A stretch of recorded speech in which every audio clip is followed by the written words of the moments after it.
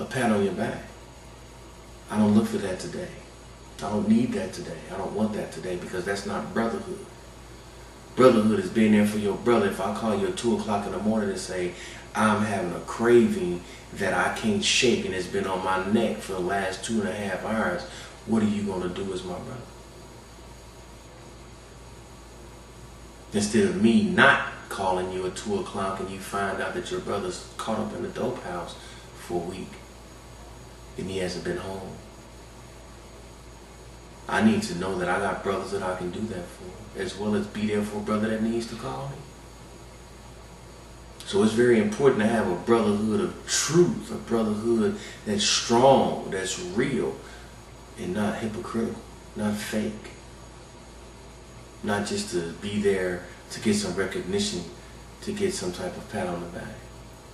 True, genuine brotherhood has always been needed within the nation of Islam, within our communities, within the church, within schools, everywhere, college campuses.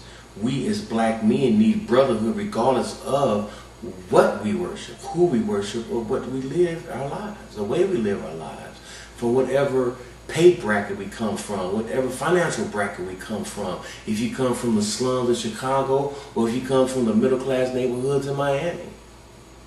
We have one common goal, and that is to raise our people. Brotherhood is very important. Brotherhood in the nation is very important. But brotherhood in our communities is very important.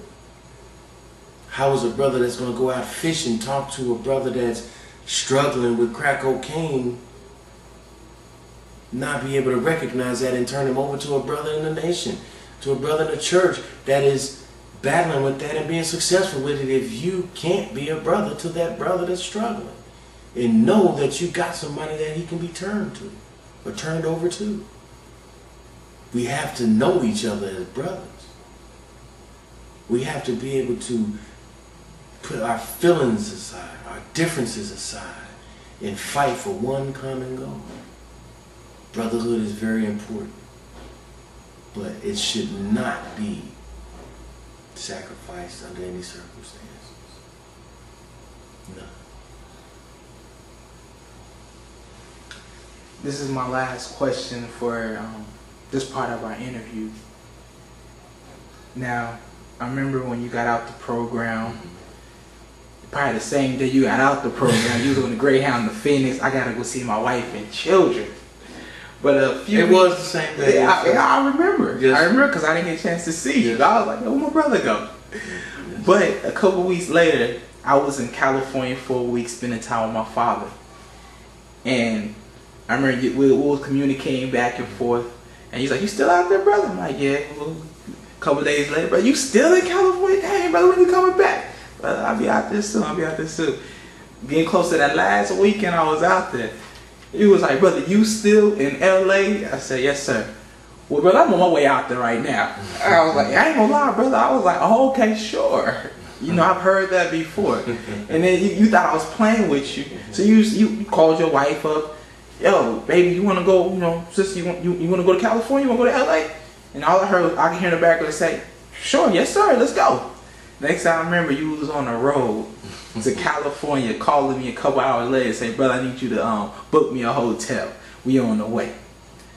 Knowing that you coming out of this program, and you probably haven't got a chance to get your feet wet and get your feet settled, set your foundation back up. But you still want to make sure that you're building and strengthening your family.